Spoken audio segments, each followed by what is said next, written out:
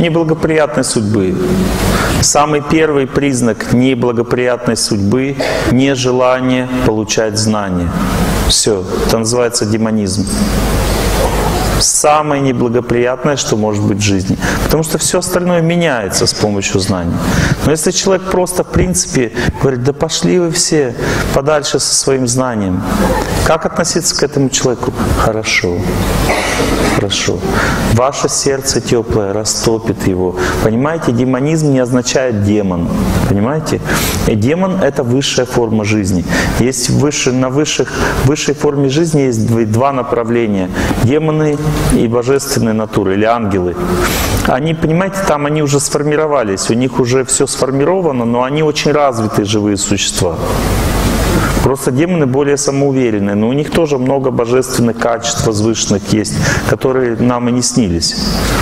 Но я говорю сейчас не про демонов, про демонические натуры. Демонические натуры — это человек, который просто не знает, как правильно. У него нет образования внутреннего.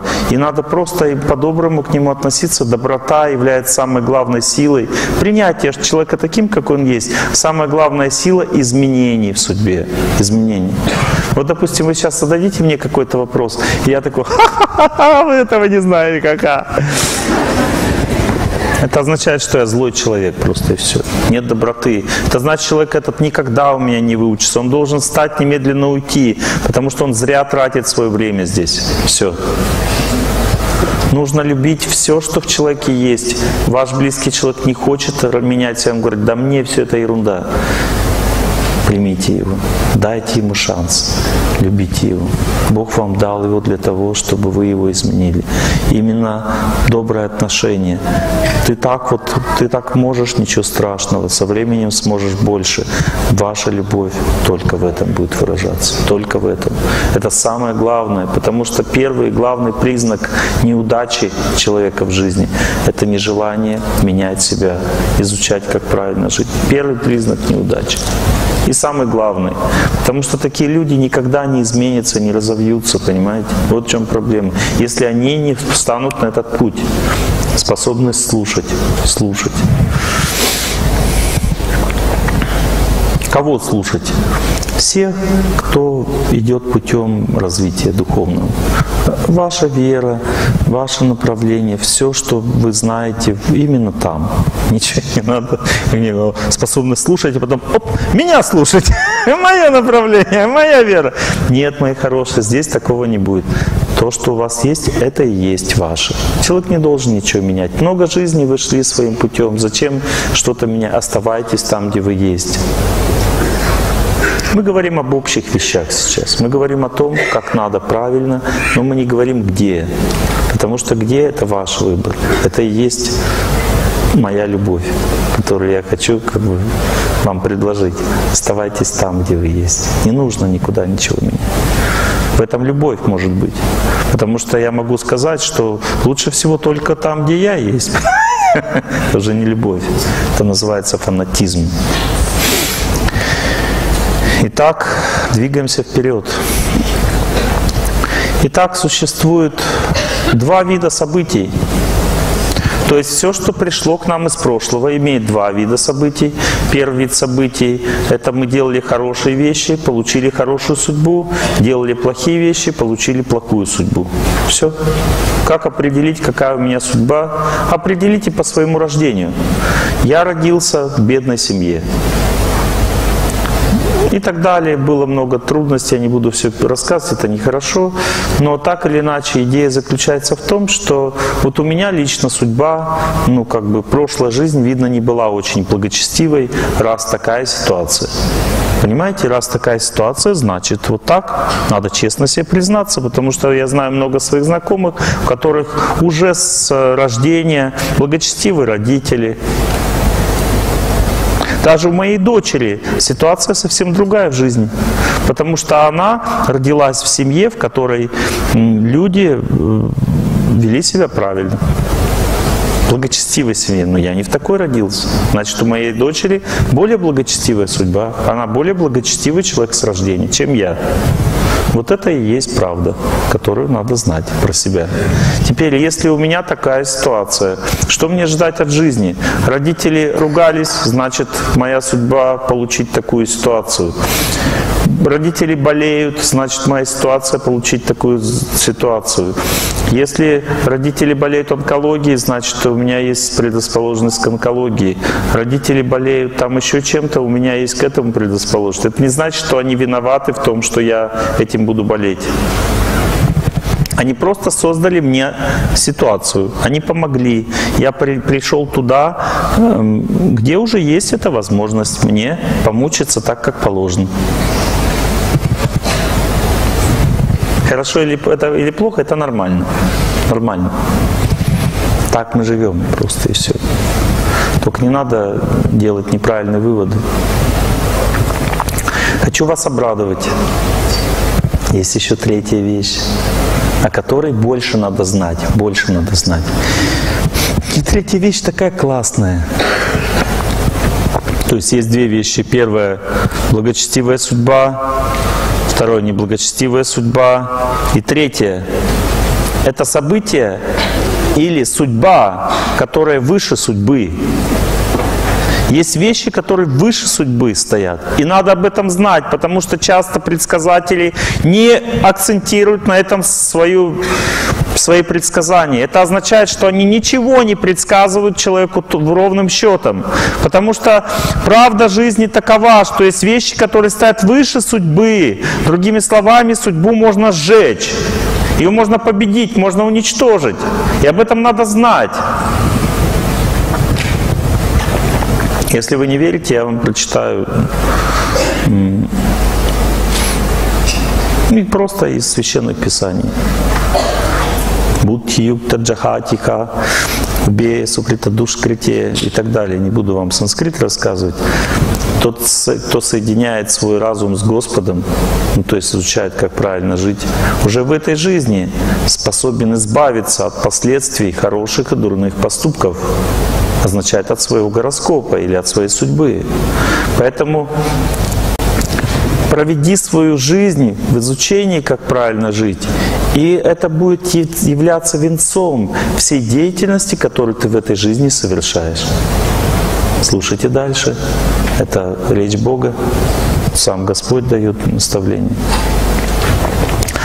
соединяя свои поступки со служением Богу или с изучением, как правильно жить, великие мудрецы или те люди, которые верующие люди, по-другому сказать, верующие люди, исправляют все последствия своей деятельности в этом мире, все последствия своей судьбы исправляются и вырываются из круговорота судьбы. Они могут попасть вообще туда, где нет судьбы, в духовный мир. И таким образом они избавляются от всех страданий. Как же, как же определить, что вот я достиг такого развития? И дальше следующее есть об этом тоже. Священное Писание говорят. Когда человек избавляется от всех желаний выгоды, начинает действовать с любовью для других, избавляется от всех желаний выгоды, которые являются порождением его собственной судьбы. Почему него возникают эти желания выгоды? Потому что он с прошлой жизни уже как бы к этому был склонен. И очистив таким образом свое сознание, черпает свое удовлетворение в своих душевных качествах. О таком человеке говорят, что он пребывает в чистом сознании, которое находится выше событий этого мира. То есть такой человек выше судьбы. Ему в гороскопе говорят так-то, так-то, извините, я не эгоист. Я веду себя уже бескорыстно. Я служу всем другим. Это значит, что гороскоп не может работать так, как он должен работать у всех остальных. Об этом говорится в Священных Писаниях. И дальше там много таких стихов, там говорится вплоть до того, что Человек, который находится на этой ступени развития, он вообще не реагирует ни на что. Там описывается, что он не реагирует, ни на счастье, ни на страдания, ни на как бы бедствие. Он споко... всегда остается спокойным и невозмутимым, не потому что он тупым становится, а потому что внутри у него столько счастья, что хватает на все. Представляете, человек так, такой силой может обладать, что с ним происходит событие, его с работы выгнали, он говорит, спасибо вам большое, я пошел. Не то, что ему хуже, ему плохо не стало от этого. Конечно, его выгнали с работы, у него денег нет, ему надо как-то дальше жить. Он говорит, спасибо, я пошел, все правильно, все правильно сделали. Не теряет равновесие, не означает, что он тупой. Или жена говорит, я тебе изменила. Он говорит, это нехорошо. Мне придется пожить чуть-чуть раздельно от тебя, я тебя все равно буду любить, заботиться о тебе. Но ты неправильно поступила, это нехорошо. Я понимаю, что это потому, что я сам так, наверное, в прошлом жизни поступил, что так у тебя такое произошло в жизни. Ну, я думаю, что у нас все будет хорошо. Ты, мне кажется, раскаешься в будущем. Представьте, человек не среагировал, ему больно не стало, он там волосы на себе не рвет, там, а, меня предали. Вот. Почему человек реагирует? Потому что попадает в круговорот судьбы. Именно поэтому и говорят, что действует судьба только через наши желания. Если я хочу личного счастья очень сильно, а моя жена мне это личное счастье не дала, Тогда что происходит? Начинаются страдания, потому что у меня были какие-то желания по отношению к ней. Но если я хочу только служить ей, я не хочу ничего взамен, то что она может мне сделать плохого? Если она изменила, я могу только больше ей служить. Так? Видите, это уже мышление трансценденталиста. Я, вы никто не сказали так. Потому что это мышление не подчиняется логике человека. Когда человек обладает святыми качествами, то мы не можем его понять. Его логику понять невозможно. Она выше обычной логики стоит. Понимаете, человек просто счастлив дарить себя в этом мире, и все. Он живет по-другому, другими законами. На него судьба уже не действует. Судьба действует только тогда, когда мы должны развиваться. То есть это просто нужно для нашего развития. Вот и все, весь вывод. Такой вывод священных писаний, что судьба нужна для нашего развития, больше нет необходимости никакой. Если ты уже развился, все эти события для тебя, они не имеют слишком большого значения. Но если ты не развит, то они будут тебя мучить больше всего в жизни. Если события тебя так сильно мучают, что ты не можешь ничего с собой сделать, это значит, что тебе не хватает развития просто и все. Потому что настоящие мудрецы ни о чем не скорбят. Это первый признак того, что они стали, обладают истинным знанием. Не то, что они тупые, бесчувственные, там близкий человек ушел из жизни, и он, да нормально все. Нет, он любит этого человека, он думает о нем, он живет его жизнью, но это не называется скорбью. Это другой вид отношений, понимаете, это называется верностью, чистотой, глубиной. Опустела без тебя земля. Понимаете, это не скорбь. Скорбь означает, а, ты оставил меня, я не могу без тебя жить. Понимаете, Почему у меня так происходит все в жизни? То есть бунт. Человек не бунтует. Он просто... Веды говорят, что страдания, соединенные с истинным эгом, с чистотой, это счастье. Когда человек любит другого человека, и он разлучен с ним, это вид счастья это не страдание. Когда чистые отношения между ними, он чисто с светлой памятью вспоминает об этом человеке. Он думает, мы с ним такую жизнь светлую прожили, спасибо тебе, судьба, что у меня был такой человек рядом. Это счастье, это не страдание. Страдание означает, что я не согласен. Понимаете, да? Об этом надо понять, надо разобраться в этом вопросе. Итак, интересно знать, что благоприятные что события, которые выше судьбы, имеют два типа событий. Есть благоприятные события, которые означают, что человек служит гармонии этого мира, служит истине, служит природе. То есть если три типа служения истине. Первый тип служения природе, то есть заботиться о деревьях, о птицах, о реке, там, о сон, ну, обо всем, что вокруг. Заботиться о творении Бога. Второй тип служения Богу – это служение людям, заботиться о людях. И третий, самый высокий тип служения Богу – это служение Богу. То есть ходить в храм, изучать Священное Писание, молитва там и так далее. Это самое высшее проявление уже, заботиться о Боге уже о самом. Это уже самое высшее. Итак, благоприятные события, которые выше судьбы. Услышали меня, да? Разобрались? Они смягчают судьбу. Что происходит с судьбой в этом случае? Удача. Точно так же, как вот смотрите, темнота же есть, да, в мире. Мы не можем сказать, что ее нет, так? Но когда солнце восходит, от темноты остаются только тени. Тени. Есть такой фильм «Тени исчезают в полдень» тени исчезают в полдень. Так вот, знайте, что тени – это тоже те же самые события, которые должны произойти в моей жизни. Но только от них одни тени остались. Вот если человек духовной практикой занимается, он должен заболеть раком. Ну, он заболевает раком. Все нормально. Но это просто тень. Почему? Потому что первое, ему легко победить эту болезнь, раз. Второе, он диагностирует на ранних стадиях, потому что человек, который осветлен светом знания, один из признаков этого осветления – это осведомленность о том, что происходит внутри. Понимаете, когда человек в невежестве живет, он не знает, что в теле происходит. Он, знаете, вот косяк, вот такое понятие, косяк или синяк. Он не знает, что там внутри происходит. Ему все равно, но если человек светом осветлен, озарен, он чувствует что-то не то внутри. Пошел, обследовался рак. Вырезали, нет рака. Все, до свидания, рак. Судьба закончилась плохая. Почему? Потому что от нее осталась только тень. Последствия не будут такими разрушительными, как должны быть. Хотя факт остается фактом. Или муж ушел, допустим, к другой.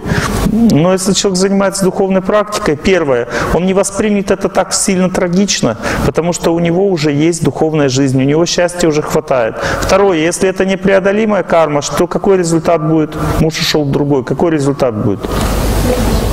Бог даст еще лучше.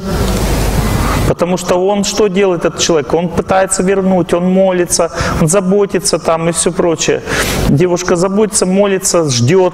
Она выполняет свой долг в этой ситуации. И что, какой результат? Она все обязанности сдала, все сделала как надо, получила еще лучше себе человек. Вот и все. Все, что происходит с человеком, который идет правильным путем в жизни, всегда благоприятно. Запомните это, всегда. Вот, вот кто из вас пришел сюда на лекции только потому, что вы страдали? Поднимите руку. Все остальные из счастья пришли, что ли? Не понял. Я сам пришел сюда, потому что я страдал. Неужели кто-то... Поднимите руку, кто... Поднимите руку, кто пришел сюда вообще вот в жизни к знанию пришел. Только потому, что он стремился к знанию. Я кланяюсь всем вам. Я из страданий пришел. Из страданий я сам. Есть четыре типа перехода к человеку к истине. Самый обычный простой тип – страдания. Более высокий уровень занимают более благочестивые люди, которые приходят к тому, чтобы жить правильно, победить над судьбой. Это люди любознательные. Они хотят вот знать, как правильно. Им интересно все. Они всем интересуются.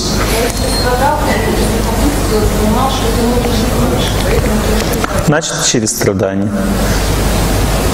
Вот не страдает человек совсем, но ему интересно. Не страдает. Страдания надо исключить. Некоторые говорят, а я, я э, любознательный. Нет, но если ты страдал и, и поэтому начал лекции слушать, значит через страдания. Вот смотрите, любознательно означает уже страданий нет. Все. У человека нет страданий, все классно в жизни, но ему интересно, как лучше. Более высокое развитие.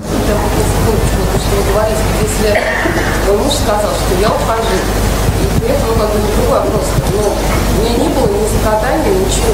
Ну, общем, не было как бы ну, хорошо, наверное, было, что Не было печали, просто уходило лето. бы, ну вот там, я бы считала, что раз ему хорошо, то пускай. Ну, Да, это высокий уровень развития.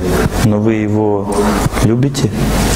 я вот как раз хотела спросить, то есть я вот понимаю, это не любовь, но при этом я сейчас за него, потому что Супер, супер, отлично. Все, вы мне все доказали.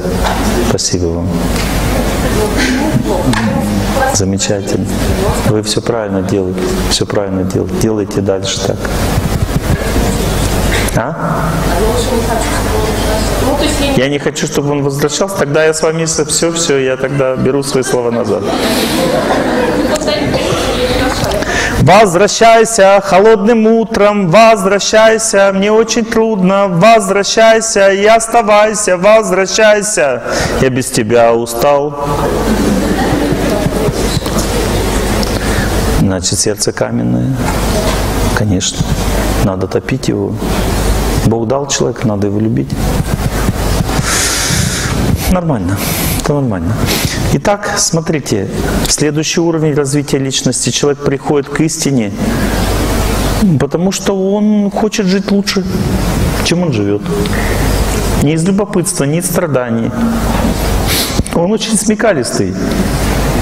Он понял, что Бог может дать возможности больше, лучше жить.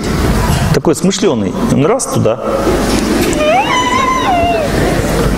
Всем разобрался, смекнул и изучать, как правильно жить. Это более развитый. И самый высокий вид развития человека – это когда человек не интересуется ни страданием, ни счастьем, ничем. Он интересуется только высшей истиной. Серафим Саровский, при- к примеру. С самого детства уже, Сергий Радонежский. Пил молоко грудное уже по дням недели, по постам. Не, не пил в дни поста молоко, не сосал грудь. И так далее, да, Матроны и так далее. Это уже вот такие люди, уже самый высший уровень развития личности. Это уже с самого детства уже люди вот такие. И нам уже на них с самого детства надо их молиться. Поэтому их жития святых из детства описываются, что они все с детства такие. Ну а что касается нас, многих, ну касается, по крайней мере, меня, то здесь подходит другая песня уже. Я был когда-то странной, игрушкой безымянной, которой в магазине никто не подойдет. Теперь я чебурашка, каждая дворняжка.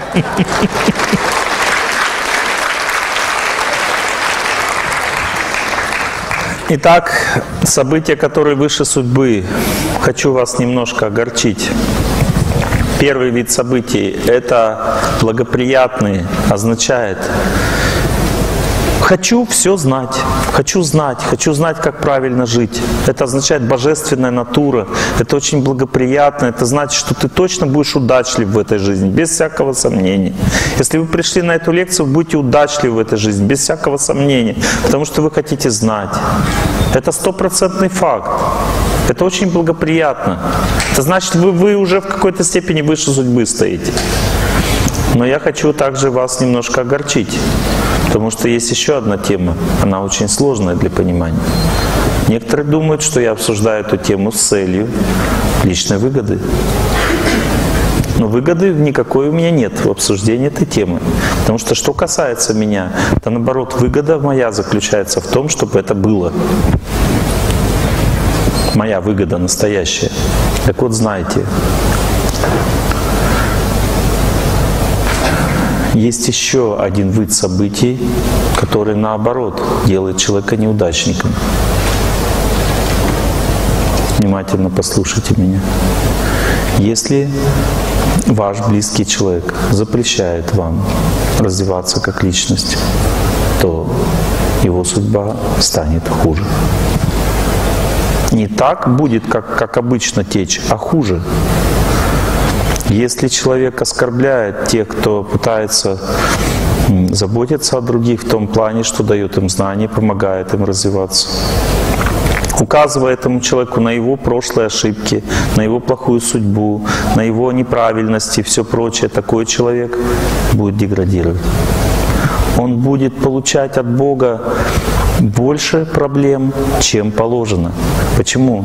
Потому что Благоприятная судьба означает приближение к Богу и означает установление личных отношений с Ним, они выше судьбы. А когда человек э, оскорбляет тех, кто идет к Богу, тогда он против Бога идет, и тогда он вызывает тоже, это тоже личное отношение, но уже в другую сторону. Понимаете, тогда Бог лично позаботится о таком человеке, чтобы ему помочь пострадать. Эти страдания будут вне судьбы, выше судьбы. Понимаете, есть две вещи выше судьбы. Одно – удача, а второе – проклятие. Так вот, знайте, мои хорошие, что часто вы слово «проклятие» понимаете неправильно. Как некоторые мне говорят, а у меня вот есть одна знакомая, и она... И все, и мне капец, теперь я вот такой несчастный. Вот это полная тупость вот э, в этом понимании этого вопроса. Первое, что вы должны понять, что на все должна быть санкция. Вот понимаете, человек сам не обладатель тонких энергий. Мы не обладатели тонких энергий. Допустим, один человек берет, кладет руку другому человеку на голову, и у него плохая, проходит головная боль. Что это значит в буквальном смысле слова? Это значит, что этот человек заслужил контактировать с такой энергией. Он не обладатель. Мы не можем обладателем быть ничего. Больше того, мы не являемся обладателями даже этого тела. Потому что иногда происходят такие вещи, что мы с тела не контролируем. Я разок проснулся, у меня нога дергается. Я понял, что я его не контролирую. Я хочу не дергать, она дергается. Ну, что, ничего себе. В чем дело? У меня было сильное возмущение. Я ее отлежал, она начала дергаться там. А некоторые вообще парализуют, и они могут ничего своими ногами сделать. Понимаете, Веды объясняют, что та же самая личность, которая дает знание о том, что будет в будущем, Та же самая личность, она снабжает тело теми энергиями, которые дают нам возможность жить счастливо в этом мире. И эта же самая личность является самым близким другом нашим, она является также нашей совестью, и она ведет нас по жизни. И эта личность присутствует в теле каждого человека. Ее зовут Бог. А знание об этом является самым высшим знанием, которое только существует в этом мире. И именно эта личность дает человеку возможность лечить людей других или дает возможность их наказывать. Знайте, что если человек способен своим словом наказать другого человека, это все сбывается. Этот человек приближен к Богу без всякого сомнения. И знаете, вот это то, что в сказках, вот эти вот эм, как бы бабки, ежки на, на метлах или ведьмы. Слово «ведьма» переводится «та, которая знает веды». А бабка-ежка – это йога, она связана с йогой как-то.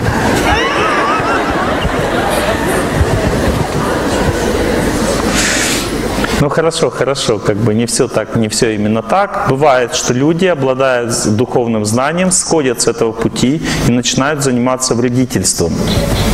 Знайте, что такие люди, которые шепчут что-то и там наговоры, привороты, отвороты, завороты, все это означает, что вам это было положено с прошлой жизни.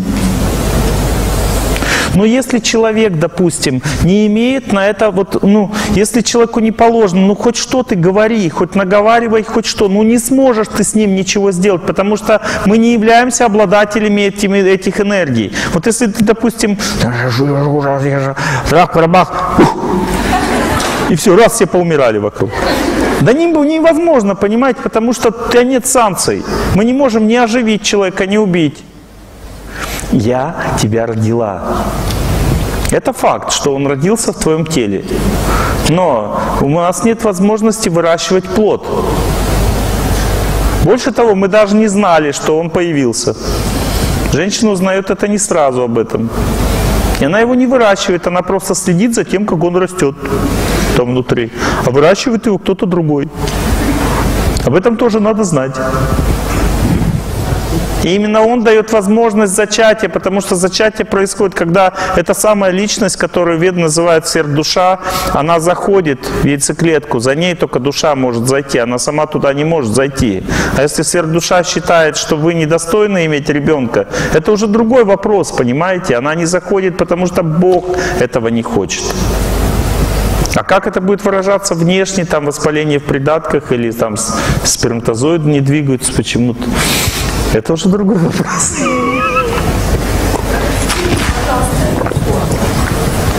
А? Нормально. Нормально. Если Бог дал ребенка через эко, значит Он дал вам ребенка. Вот и все. Потому что вы же уже поняли, что ребенка зачать невозможно ни с помощью эко, ни с помощью чего-то другого. Как некоторые ученые говорят, мы научились выращивать пшеницу зимой. Это факт, что вы научились э, делать так, чтобы пшеница э, росла зимой, но вы ее не выращиваете. Ни один ученый не сможет вырастить пшеницу, потому что она растет без него сама.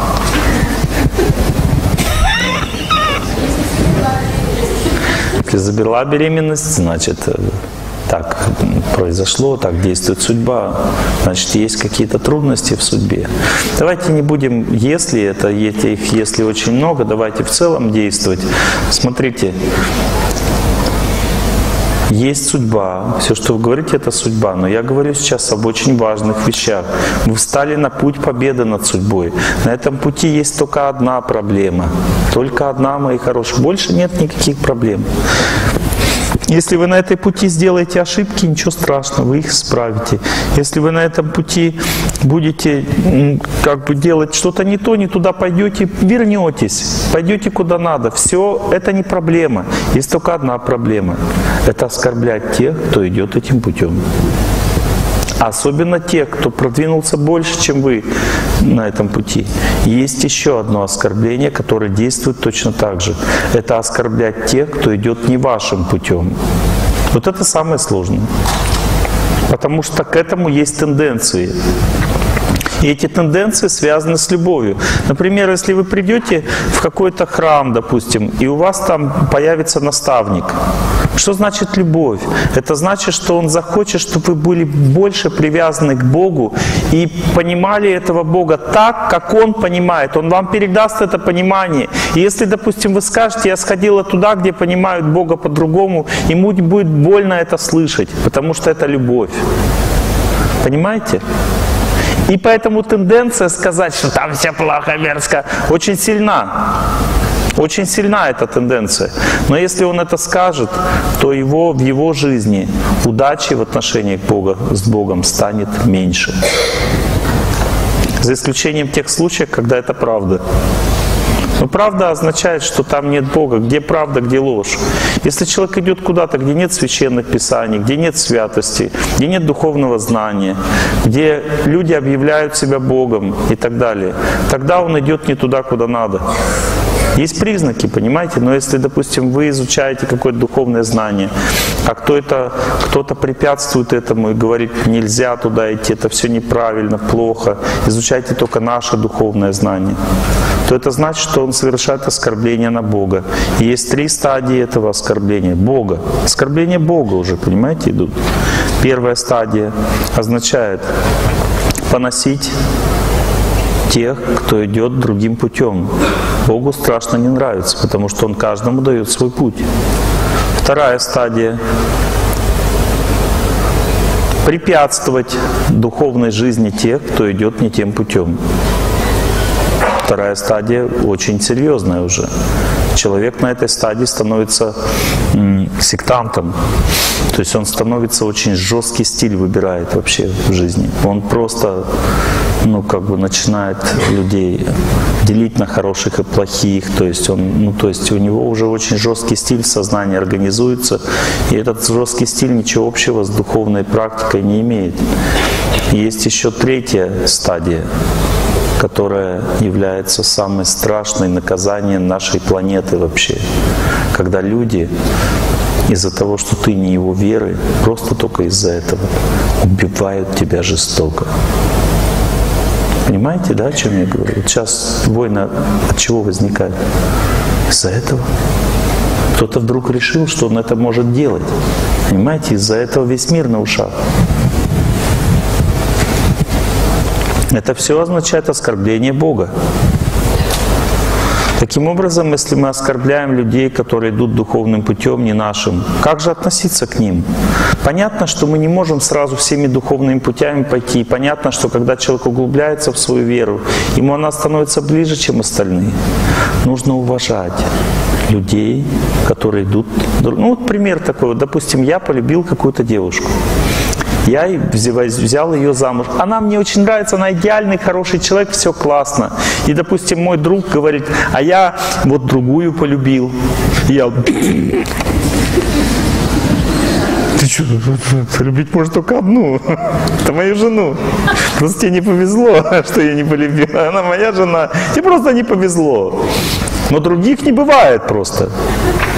Это признак слепости просто и все. Нет понимания замысла глубокого. Нет понимания. В этом большая проблема. Но на первой стадии веры человек всегда попадает в эту западню, запомните, всегда. Когда человек находит свою веру в жизни, он всегда критикует в сердце другие веры тайно или явно, у него все равно это червоточина внутри сидит, потому что такова стадия. Человек еще не избавился от двойственности, ему надо делить людей на хороших и плохих, поэтому всегда будут крайние. На второй стадии развития человек перешагивает через это сознание, он начинает чувствовать замысел. Он понимает, что надо идти моим путем, там мой свет, там моя чистота. Но при этом он уважает другие пути. Он говорит, пожалуйста. Причем, даже если в этих путях есть какие-то неточности. В каждом пути есть какие-то свои заморочки. И все равно ничего, вот человеку так надо идти, он должен этим путем идти. Нормально. На третьей стадии человек видит настолько глубоко замысел Бога, что он всегда радуется и людям, и Богу. И даже грешнику радуется, он видит его путь жизненный, понимает, зачем он сдает сейчас этот экзамен. И это очень высокий уровень развития. Просто даже не представляйте, не пытайтесь представить таких людей. Одна секунда общения с таким человеком изменяет всю судьбу. Это уровень высочайших святых на этой земле, высочайших святых. Итак, двигаемся дальше. Мы с вами беседуем о судьбе, и мы с вами разобрали а, различные виды сознания. И теперь я вам расскажу в соответствии с этими видами различные виды веры, которые приводят к различным судьбам. Первый вид веры, судьба жестокая, называется безнравственный атеизм. Жизнь без нравственности и без Бога – это животное существование. Человек атеист, он не верит в Бога и живет как, как хочет. Означает крайняя степень реагирования на события судьбы. Приведу пример. Есть несколько вариантов людей. Допустим, человек может идти по судьбе, дорогой судьбы, может ползти, может нос носом как бы об нее. Вот понимаете? То есть он может бежать, может лететь над судьбой, как святые люди. Они летят над судьбой. Может идти по дороге судьбы вверх, трудности испытывать, но идти. Он может бежать, то есть он с помощью помощью знаний быстро преодолевает много жизней за одну жизнь может пробежать. А есть люди, которые на, коле, на четвереньках карабкаются. Это люди, которые сильно привязаны к тому, что происходит в жизни. А есть, которые просто лежат трупом и носом как бы просто по этой судьбе и все в кровь раздирают. Вот это называется безнравственный теизм. Самые несчастные люди на этой земле, которые ни во что не верят, не хотят жить правильно. Пожалейте их, не, не, не, как бы, не злитесь на них, не злобствуйте на этих людей. Они наказаны больше всего. Они действительно будут страдать и страдают уже, потому что любви настоящей нет, совести нет, ничего в жизни нет хорошего. Но они из себя что-то корчат, потому что в этом трудность, потому что они ослеплены. Нравственный атеизм, следующая стадия. У меня все нормально, мои хорошие, все нормально. Деньги есть, работа нормальная, все хорошо, в Бога я не верю. Я верю только в материальный прогресс. Я хороший бизнесмен, хороший ученый, все нормально. Следующей жизни нет. Все это там выдумки каких-то там эмоциональных людей. Все основано на науке. Какой науки материальной? Другой науки никакой нет. Если не доказано, что есть э, другие галактики, значит их нет. Если не доказано, что есть следующая жизнь, значит ее нет. Главное, чтобы были деньги и устойчивость жизни. Это нравственный атеизм. То есть люди, у них есть нравственность, означает, какая нравственность? Означает, что есть определенные правила в жизни, понимаете? У них есть правила у таких людей, но совести нет. Они даже не понимают, что это такое. Говорю, какая совесть? Работай, живи нормально, все будет хорошо у тебя. Теперь нравственный теизм. Третий уровень развития личности. Человек уже верит в Бога, он пытается жить как надо, как, как правильно. У него появляется победа над судьбой, счастье в жизни начинает появляться. Все классно. В основном соблюдает все из страха внутреннего, он хочет быть богобоязненным. Следующий уровень развития. Это тур, два последних уровня означает победа над судьбой уже. Первый уровень победы над судьбой человек видит счастье, но не видит Бога. Он видит Его сияние. Такой человек говорит, думайте только о вечном. Не думайте больше ни о чем. Смерти нет, жены нет, детей нет, рождения нет, старости нет, ничего нет, кроме вечного и счастья. Думайте о счастье, будьте счастливы. И поэтому надо просто жить в монастыре, быть счастливым, наблюдать за этой жизнью, пускай все живут как хотят, а вы думаете только о вечном и все. Это хорошо. Такие люди означают, что они уже приблизились к Богу очень сильно, но при этом немножко они отошли от принципов, от того, что Бог хочет. То есть они отошли от морали, они стали немножко бесчувственными, такие люди, в этих лучах божественного счастья. Понимаете, да, почему так люди себя ведут? Потому что так действует их чистота. Она не дает им возможность понять страдания других. Но это уровень развития. И пятый, самый последний уровень, это когда человек чувствует Бога, совесть возвращается к нему, он становится сострадательным, он любит людей, у него нет своей кармы, он может помогать другим, заботиться о других, он живет на земле как миссия, ради миссии. И это уже очень высокий уровень святости.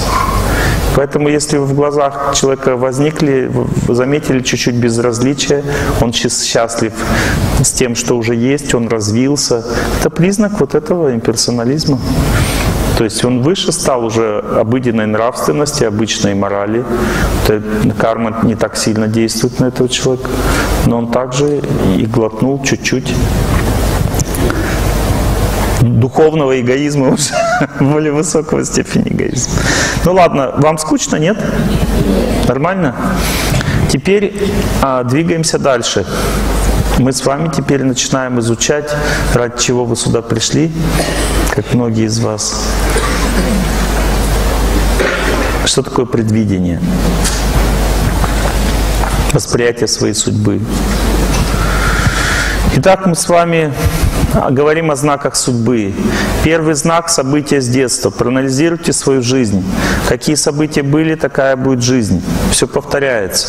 Три раза у человека в жизни все повторяется. Один раз в детстве он получает все просто насильно, то есть жизнь насилует его в детстве, получает родителей, каких положено, жизнь какую положено. Он ничего не может с, это, с этим сделать.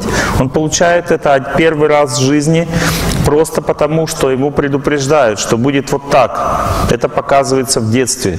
Второй раз он это получает, когда становится взрослым. Получает то же самое, только уже на себе. И третий раз он как это получает? С детьми со своими, да. Интересно знать, что если человек победил свою судьбу, третьего раза не будет. Скажите, а если это ребенок, вот у меня дочка родилась, у нас семья была в Она в пять лет говорит, вам запиши на открытке, что у нас самая лучшая семья.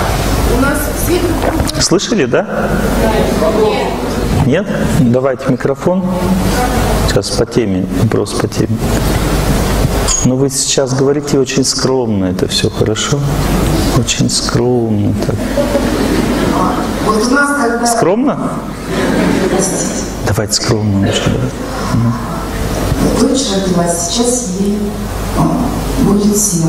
Так. Когда она родилась, у нас прям такое невежество в семье. До этого, да? До этого было невежество. А, и когда она родила. Единственная была особенность, что а, в период беременности я ваши лекции слушала. Ну вот это единственное, что на нее повлияло. Так это самое главное. Потому что... А потом я их не слушала. Нет, а потом... Так вы поймите, что во внутробном периоде у человека развивается вера. Вот, и вот смотрите. Почему, почему считается, что беременная женщина должна жить как монахиня? Потому что и монахи, и беременные женщины должны одним и тем же заниматься. Монахи воспитывают людей, дают ему духовное знание. Это их обязанность. И та же самая обязанность беременной женщины, потому что внутриутробном периоде у ребенка развивается вера. Если мать молится, когда и больше ничем не занимается, она святого человека может родить. Поэтому и мужчины должны думать своей эм, черепашкой, вот, как занимать беременную жену. Если она как бы занимается духовной практикой только, тогда мужчина правильное вложение делает своего ребенка. А если он заставляет ее что-то еще делать, значит, может, у нее черепашка еще не до конца стала кирибум. Ну ладно. И? И, а потом, когда она родилась, мне некогда было слушать. Ребенок растет, семья в невежестве, мы ругаемся, муж бьет. И потом, когда ей пять лет исполнилось, она так лежит, говорит, мам, возьми вот листочек, открытку будем с тобой писать, напиши.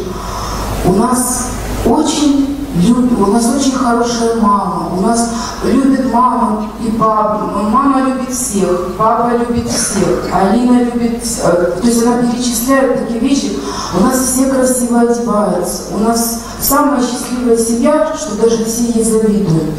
Я сижу, я пишу это все, и у меня внутри такой думаю, как она может писать, у нас же такая семья невежественная.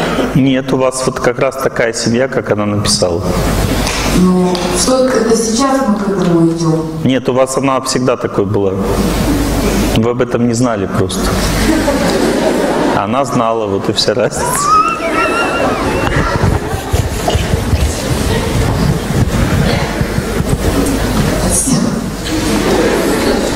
Думала, что, она выше своей судьбы уже с детства. Нет. Не надо верить в ребенка выше, чем в Бога. Это может стать причиной ее гордости. Может, скажите, а нужно мне ее А сейчас вы уже злоупотребляете, да?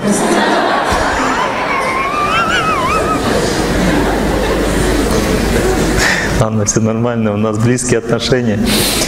Итак, запомнили, да? То есть события три раза прокручиваются в жизни человека. Это всегда это, это как бы стандарт. Первый раз э, я невольно получаю контакт с ним, потом в результате своей жизни, и потом на своих детях смотрю, справился я с этим или не справился. Дети покажут. Вот. Дальше. Мы говорили об этом. Теперь характер с рождения тоже. Это не значит, что его нельзя поменять. Вот, допустим, если, допустим, я родился гневливым, это не значит, что я не смогу стать смиренным. Понимаете? Это просто объем работы и все. Вот, допустим, если у меня кухня грязная, я, я взял квартиру с грязной кухней. Что это значит? Она всегда там будет грязная, что ли, в этой квартире? Нет, это объем работы. Кухню отдраил, очистил, стало чистое, все. Так устроено наше сознание. Все меняется в этой жизни, потому что мы хотим менять. Но работа с характером – это годы. Это не то, что вот раз, потому что характер. Олег Геннадьевич, я не хочу быть обидчивой. Да поймите, что это не, не важно, чего вы хотите. Важно то, что вам дали. Потому что обидчивость – это и есть наказание. Понимаете? То есть не надо говорить, я не хочу быть обидчивой. Обидчивость это то, что положено. Вы обидчивы, потому что так положено. Вы наказаны этим, этой чертой характера. Но если вы будете учиться прощать людям, то есть делать другие вещи противоположные, вы прощаете. Я этому захотела простить и простила этому. Что произойдет дальше? Вы отработаете эту черту характера и перестанете быть обидчивой просто. Почему? Потому что наказание будет снято. Вот так действует судьба. Если я говорю, я не хочу быть обидчивой, что мне сделать, чтобы не быть обидчивой? Это то же самое, что что мне сделать, чтобы выйти из угла. Я не хочу стоять в углу. Нет, надо стоять. Тебе придется быть обидчивой. Почему? Потому что ты такого наказания. Но надо учиться прощать. Если я думаю о том, чтобы прощать, а не о том, что я обидчивая, тогда я иду правильным путем. А если я думаю о том, что я обидчивая, то это бунт. Это неправильный путь, это означает поражение на пути судьбы. Таким образом, надо диагностировать свой характер как объем работы, как то, что надо пройти. Теперь больше того, больше того, если говорить о сокровенных вещах, о качествах души, знайте, что та душа, которая имеет гневливость по своей природе, это означает только одно на уровне души, что этот человек бесконечно смиренный душе. Понимаете? И поэтому Бог ему и дал гневливость, чтобы себя понять лучше. Потому что когда человек борется со своей гневливостью, каким он становится? Гораздо более смиренным, чем те, которые не гневливые. Ведь так? Но если человек гнев, не гневливый, что ему бороться с этим? А если человек борется, значит, у него становится больше. Понимаете? Поэтому с точки зрения души все наоборот. Тот человек, который был такой весь, знаете, грязнуля, это значит, что в душе он очень чистый. Это совсем как в анекдоте про зайчика, да? Я много раз рассказывал, что лягушка с зайчиком встретилась, и как бы она говорит, что такая вонючая, зайчик лягушки. Она говорит, э, и лягушка говорит, я не вонючая, я просто болею. Я на самом деле мягкая, пушистая. Знаете, я то же самое сказала вашей семье сейчас. Потому что вы знаете, какой должна быть ваша семья. Именно такой она и есть на духовном плане. Спасибо большое. Угу, хорошо. Она такая и есть на духовном плане. У вас такая семья, понимаете? Но чтобы она такой стала внешне, для этого вы к своей вере должны прийти, потому что ваша мечта внутри указывает на то, что есть. Эта истина уже существует. Она просто существует сейчас на том непроявленном плане, который в вас тоже живет. Это не, не, не выдумка, это не, не фантасмагория. Ваше чувство, какой должна быть семья, является именно тем, какой она есть. Просто на том плане, который вы еще не, до которого вы не дошли. Или, допустим, вы смотрите на своего близкого человека и думаете, я хотела бы, чтобы ты был мудрым. Это значит, что он внутри мудрый, сто процентов. Потому что человек не может от другого человека хотеть того, чего у него нет. Понимаете, о чем я говорю или нет? Что есть вещи, скрытые от глаз. Эти, эти вещи, к которым мы идем, к которым мы стремимся, но они уже существуют в природе. Это надо знать. Если мы этого не знаем, мы тогда никогда не получим этого результата, как «Гадкий утенок» мультфильм. Он, он всегда был лебедем, этот гадкий утенок. Он всегда стремился к лебедям. Когда он вырос, он понял, что он лебедь. Это, это, это не мультфильм, это аллегория. В древней культуре всегда на этих аллегориях строилось понимание вещей. Мы все с вами гадкие утенки, но когда мы вырастем, мы все станем лебедями. Потому что человек стремится именно к тому, что у него уже есть. Ничего нового душа не приобретает. Она просто получает все свое свое старое.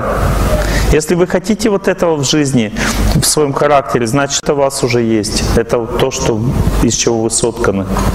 Понимаете, внутри, в глубине в своей. И почему так много другого, того, что не надо? А потому что, чтобы это получить, нужно именно над этим, над противоположным и работать. А? Если ты, тебе говорят, что ты слишком гордый, а ты себя не чувствуешь гордой, есть три стадии победы над собой. Первая стадия. Мне говорят, что я гордая, но я не чувствую. Вторая стадия. Мне говорят, что я гордый, и я чувствую. Есть третья стадия. Я уже не гордая.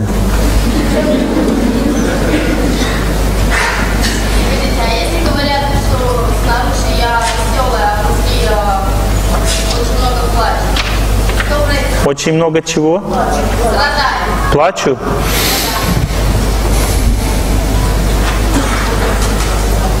Ну, как бы нет такого качества души внутри плакать. Есть качество быть веселой.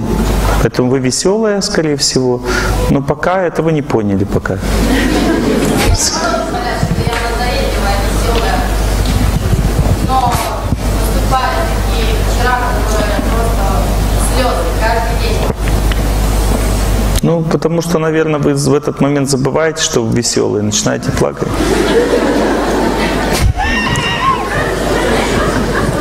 Я сказал правду, поэтому все смеются. Это факт. Ну ладно, давайте сейчас не будем, будем двигаться дальше. Итак, знаки судьбы. Характер с рождения – это знак, указывающий на объем работы и конечный результат. Запомнили? Объем работы какой? Это моя гневливость. Допустим, я гневливый человек. Значит, внутри я какой? Очень смиренный. И к этому надо идти просто. Но это не значит, что не, не надо делать такой вывод. Отстаньте все от меня, я смиренная внутри. Нет, как бы я не про это говорю. Я говорю о том, что должно быть, что мы говорим о будущем, что вот человек очень гневливый в конечном счете становится очень смиренным. Конечно, страдает, поэтому он и гневливый, что ему надо пострадать. Дальше. Следующие знаки судьбы, астрологические периоды жизни. Как относиться к астрологии? Мои хорошие, давайте так вот будем относиться к астрологии. Есть такие люди, которые, которых называются астрологами. Знаете, что эти люди, они немножко ошибаются. Чуть-чуть ошибаются в своей возможности понять вашу судьбу. Потому что настоящий астролог – это тот, кто уже достиг святости. Понимаете, мы с вами говорили, какой уровень развития личности, что человек на каком этапе видит время. Помните, мы говорили, на каком этапе? Этот человек уже вообще, вот просто уже вообще очень развит. Но им хочется видеть время раньше.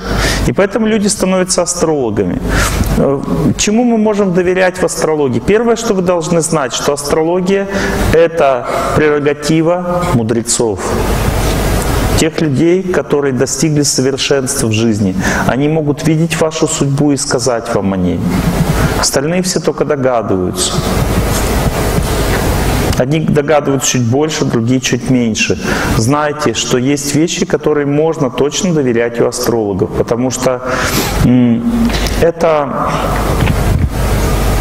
не то, что астрологи придумали, а то, что является очевидным в карте. Ну, допустим, есть большие периоды жизни. Они длятся по 10, 15, 20 лет. Эти периоды в соответствии с вашими планетами имеют какие-то характеристики. Допустим, период Сатурна означает, что придется много трудиться, что через труд ты пол- получишь как бы награды в жизни, через тяжелый труд. Понимаете, этот период длится 20 лет. Представляете? Там другой период Солнца, там длится покороче, но это означает, что э, ты будешь гневливым, там, гордым, амбициозным, но также научишься смирению в этот период. Понимаете? То есть вот это вот, когда вы, допустим, делаете гороскоп у астролога ведического, вы узнаете эти периоды в жизни, на каком периоде вы сейчас живете, какие сейчас задачи на этом периоде, сколько он будет длиться, когда закончится, там и так далее. Я изучал эти темы, я как бы научился определять у себя, по крайней мере, до часа, когда меняется период жизни. То есть я прослеживаю, это жик-жик, вот идет один период, бац, вот уже другой пошел. И по этому часу потом можно определить точную там до секунды время рождения и так далее. Ну то есть ход времени можно почувствовать, это очевидно. В другой период жизни, в следующий, все меняется в жизни. Меняется ощущение себя. Вот, вот допустим, вот смотрите, вот проследите свою жизнь. Вспомните, что вы были ведь не всегда такими, как сейчас. Было время, когда вы по-другому жили совсем, другой жизнью, а до этого жили еще другой жизнью. Вот это и есть большие периоды в жизни. Понимаете, все меняется в жизни, человек как будто другой жизнью начинает жить. Вот я еще раз повторяю, что верить нужно только самым коренным, основным вещам о вашей судьбе. Все остальное это их фантазии. Потому что человек не может глубоко видеть судьбу другого, пока он не стал безгрешным. Ну попытайтесь это, пожалуйста, понять. Я не против астрологов, понимаете? Есть люди, которые более внимательны, менее внимательны. Они могут что-то почувствовать или сказать по карте лучше. Но в целом тенденция такова, что видеть ход времени может только риши. То есть риши это слово специально в ведической культуре означает, это вид мудрецов, понимаете, есть разные виды мудрецов. Есть, допустим, там, ну, Риша означает ясновидящий в буквальном смысле слова. Это человек, который видит ход времени, понимаете? Это очень высокий уровень развития личности. Это просто беспрецедентно высокий. И именно для таких людей дана астрология. Но это не значит, что человек, который изучает астрологию, он ничего не сможет сказать. Есть вещи очевидные, например, совместимость между мужчиной и женщиной. Совместимость. На что она говорит? О том, насколько много энергии счастья само по себе будет в отношениях.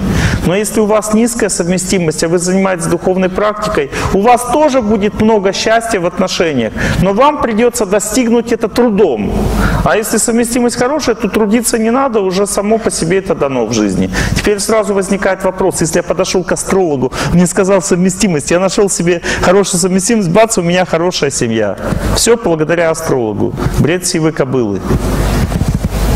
Первое, что вы должны знать, хорошая совместимость не означает, что все будет хорошо. Означает, что все может быть хорошо. Потому что всего лишь один аспект судьбы.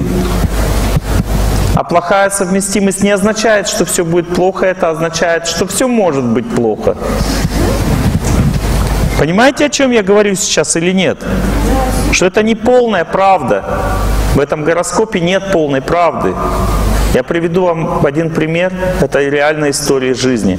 Один мужчина скрыл от своей жены, очень мудрый человек, скрыл дату рождения, сказал ей другую, он ее сильно любил. Они прожили всю жизнь. И потом ему жена сказала, смотри, у нас очень хорошая совместимость, поэтому мы прекрасно прожили нашу жизнь. Да, у нас были трудности, лишения, испытания, но мы все их прошли, и мы счастливы друг с другом. И тогда он ей открыл правду. Он ей сказал, настоящая дата моего рождения такая, у нас полная несовместимость, и мы не должны были быть вместе. Но я хотел доказать своей судьбе и своей жизни, что мы можем быть счастливыми. И я доказал это своей судьбе. Услышали или нет?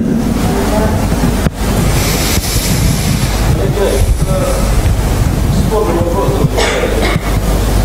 А еще какой? Возможно, иначе. Я не помню, что с астрологами надо ну, осторожно быть, даже если кого не прыгать, не астрологи все стали. Мешает быть. У них утверждение. Вот. А сам факт, что вот вы иногда говорили, что прежде а, чем ну, создать семью, да, когда родить ребенка, надо писать астрологу, который лучше период. Это самая большая ошибка будет в вашей жизни, если чтобы родить ребенка, вы посоветуете с ним какой период. Потому что в год вы найдете всего один раз возможность зачать. Вы потеряете сначала пять лет жизни, а потом поймете, что надо зачать и начинать пытаться чаще. Иначе вы вообще тогда ребенка не будете иметь в своей жизни. Услышьте меня.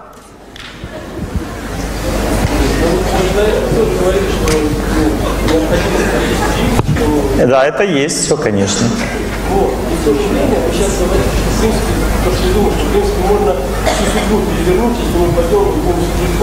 Конечно. В этом смысл жизни человеческой. А зачем тогда жить, если это не так? Неужели мы должны как роботы здесь жить? Просто потому, что все предопределено. Так лучше повеситься просто. Зачем нужна такая жизнь? Потому что это совместить, что получается, вроде бы и надо советовать, и в то же время надо как бы, А вот в этом заключается мудрость. Посоветуйтесь. У меня есть один знакомый человек, он посоветовался с четырьмя самыми выдающимися астрологами в Индии. И все они ему сказали разные вещи про его жизнь. Но что-то было одинаково. И он это принял. То, что было одинаково, он это принял. Это называется мудрость. И он сам это чувствовал про себя, что так оно и есть. Я не против астрологии, я просто все пытаюсь поставить на свои места. Пытайтесь это понять. Первое, что вы должны понять с сегодняшней лекции. Не ходите к бабкам-гадалкам. Не ходите к тем людям, которые шук-шук-шук тебя там... Тебя, понимаете, есть три вида веры. Послушайте меня сейчас внимательно. Три вида веры. Первый вид веры в этом мире есть несправедливость. Это значит, можно там нашептать, насказать что-то, и все, и капец, моя жизнь вся под откос. Бред, полный бред, такого нет, понимаете? В этом мире нет такого чуда. Если тебе не положено страдать, ты не будешь страдать. Положено, хоть шептал человек, хоть не шептал. Ну, пошептал, это запустило механизм твоего страдания. Ну и бог с ним, нет проблем. Какая разница, что запустило механизм моих страданий? Это не проблема. Проблема, что мы в это начинаем верить, что если кто-то шепчет, то тогда будут страдания. Это называется суеверие. Верить, что значит суеверие? Это значит, что верить во второстепенные вещи, которые никакой основной силы в жизни не имеют. Допустим, если человек плохо думает о мне, а на меня это влияет или нет? Вот на работе я хожу, мне кто-то плохо думает. Влияет до тех пор, пока я о нем не начну думать хорошо. Но если я его прощаю, как он может повредить мне, плохо думая обо мне? Это невозможно. Так первое, что нужно понять. Суеверие – это дорога в ад. Те люди, которые поверили, что можно их проклясть, они все идут в ад. Они все идут в ад, потому что они поверили в глупость. Вера в глупость – самое страшное, что может быть в этой жизни. В этом мире нет ничего сильнее Бога. И нет ничего сильнее нашей веры в Него. Нет ничего сильнее наших поступков. Человек не может быть проклятым, если он ничего плохого не делал. Даже если вас в тюрьму посадили нечестно, то это значит, что вы эту тюрьму заслужили в прошлой жизни просто. И сейчас судьба догнала. Это все. Расскажу вам историю про одного своего знакомого. Удивительная история. Показывающая, как побеждает судьбу человек. Это было очень давно, мы только начинали заниматься духовной практикой, изучать все. Это был мой друг, он сейчас мой друг. Он заботился обо мне, помогал мне во всем. И в том числе ездил на машине, водил машину. И в какой-то момент я увидел, что почувствовал, что у него может в жизни произойти ужасная вещь, что он может кого-то сбить. Потому что он был очень невнимательным во время вождения. Я почувствовал, я реально это почувствовал. Сказал, все, тебе нельзя больше никогда водить машину, ты не должен водить машину. Он согласился со мной, перестал водить машину, потом мы с ним поссорились, он ушел от меня, начал опять водить машину, сбил ребенка насмерть. Вот. Его родители откупили его от тюрьмы, вот. ну там замяли это дело, хотя он сбил не специально, ребенок сам выбежал на дорогу, он его не, не- ну, нереально просто заметить. Ну, то есть он просто под колеса, там за мячом за каким-то побежал, что-то и просто убил его нечаянно, этого ребенка. Но, тем не менее, его осудили на 4 года тюрьмы, и родители его откупили, и потом он начал заниматься духовной практикой, все это забылось вроде бы. И потом интересно, смотрите поворот жизни, смотрите, как все происходит. Он, чтобы поехать в святое место, приехал в родной город для того, чтобы сделать визу. Там, ну, не визу, а загранпаспорт. загранпаспорт. И он пошел в магазин за хлебом. И его поймали, милиционер поймал, потому что он был похож на преступника внешне. Посмотрели фотографию, опа, вот он, идет красавчик, раз его, А в это время того судью, ну как бы того судью, которого, который вот, ну, за взятки э, не сажал людей в тюрьму, его разоблачили, посадили самого. Все эти дела вскрыли, подняли, и он в условном розыске оказался, этот молодой человек. И его а, смотрит по этому по компьютеру и смотрит, о, не преступник, но наш человек. И даже не дали ему дойти до магазина. Его взяли, короче, увезли, вот, и посадили в тюрьму. Ему дали 4 года, как, как и положено. Вот, слушайте дальше он в этой тюрьме начал заниматься духовной практикой. Первое, что произошло, он начал помогать всем, кто сидел. И терпеть все, ну как бы терпеливо относиться ко всем унижениям. Первое, что произошло, его начали там уважать. Вот та элита, как бы, ну, которая в тюрьме есть, там свои законы, она начала его выделила и начала его защищать. Она говорит, не трогайте его, пусть молится. То есть она, они видели, что искренний человек, начали его защищать. Потом дальше они все попросили его почитать лекции по отношениям, потому что он со мной ездил, он так помогал мне читать. Он начал читать лекции там в тюрьме. Вот. Потом дальше ему сделали амнистию, располовинили срок. Вот, на два года, осталось ему два года сидеть. И потом, через несколько месяцев, его перевели в медсанчасть, он начал уже не сидеть, как все в тюрьме, а начал просто заботиться о них, лечить их, всех э, этих людей.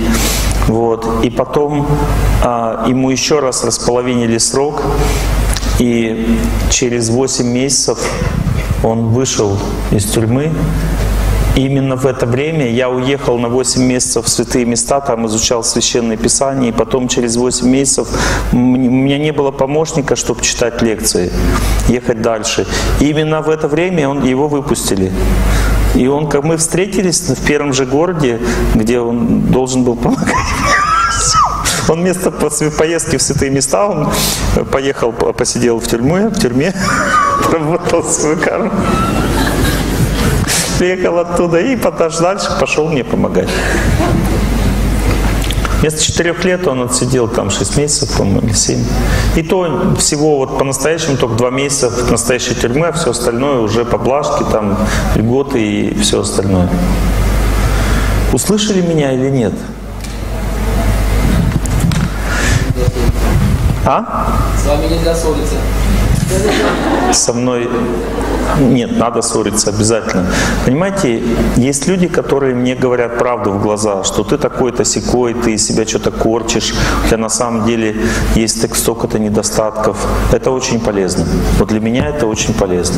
Те, кто слушает мои лекции, это страшная вещь. То есть, если они услышат такие слова, они могут потерять вкус, и это может повлиять очень сильно на их развитие.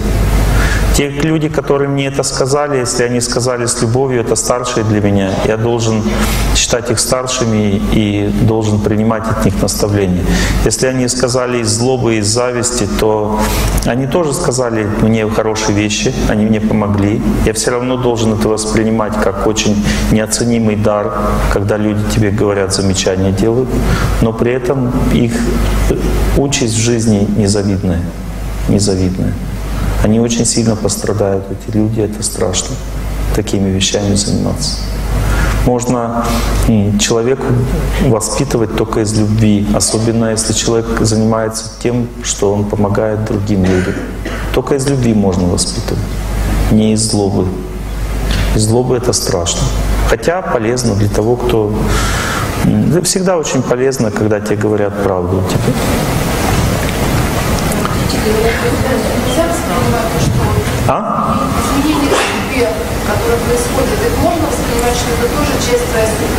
Конечно, это и есть самое настоящее. Есть два типа судьбы. Она говорит, изменения в судьбе, это судьба или не судьба. Есть два типа судьбы, мои хорошие. Я хочу вам сказать главную новость. Есть два типа судьбы. Та судьба, которая отпечатывается, смотрите, душа соединяется, э, сперматозоид соединяется с яйцеклеткой. В этот момент в тон, на тонком теле, душа находится на тонком теле, в тонком теле живет. она в этот момент соединяется с грубым миром, и в этот момент уже определяется орбита жизни этой души, качество характера, которое она будет иметь, количество благ, которые она получит, количество наказаний, которые получит, количество страданий, которые получит и так далее. Все определено.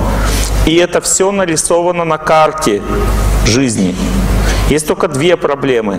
Сможет ли разгадать это астролог? Первая проблема – это тоже милость. Если вы найдете такого человека, от Бога эта милость идет. И вторая проблема – сможет ли он понять, в какой момент душа родилась. Понимаете, это тоже большая проблема. Итак, слушайте дальше. Вот это на самом деле не ваша судьба. Это является подобие нашей судьбы. Это всего лишь внешнее проявление нашей судьбы. Потому что у каждого человека есть вторая судьба, которая не проявлена в этом мире ни через карту, ни через что. Эта вторая судьба называется миссия. Когда человек понимает, что ему в жизни нужно делать для других, какую пользу он может приносить другим людям, это значит, что началась его вторая судьба, когда он это осознал. И это значит, что он по-настоящему будет счастливым в этом мире и будет делать то, что надо. И эта судьба служить другим или миссия человека является его главной судьбой, потому что она не закончится за эту жизнь, она будет продолжаться дальше, дальше, дальше. И эта же миссия была и в прошлой жизни, понимаете? Человек никогда не, не расстается со своей возможностью служить Богу, и потому что поэтому, когда душа рождается в человеческом теле, Бог уже заранее надеется, что этот человек будет делать то, ради чего он рожден на самом деле. А миссия человека всегда бескорыстную природу. Поэтому главная судьба человека связана с его миссией перед Богом. И эта судьба, она является сильная. Это сильная позиция в жизни. Она разрушает все препятствия, уничтожает все трудности. Такой человек становится просто неподвластным тому, что происходит в этом мире. Понимаете? Он может выйти сухим из воды, то есть он может победить все, что непобедимо, но встать на этот путь очень сложно, потому что мешает другая судьба, которая у нас есть. Понимаете, вот эта вот судьба быть скользким и вонючим мешает нам быть мягким и пушистым. И мягким и пушистым становится тот, кто обретает знание, как жить правильно и делает свой выбор, свободу выбора в сторону правильной жизни посылает.